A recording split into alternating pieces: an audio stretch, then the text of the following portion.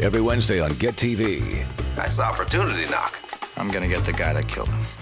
Get lost in rarely seen shows from the golden age of television. Well, now I've got the best reason in the world to be here.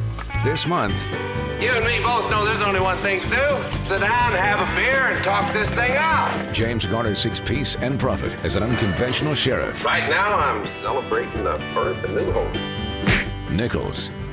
Every Wednesday at 8 p.m. Eastern, 5 p.m. Pacific on Get TV.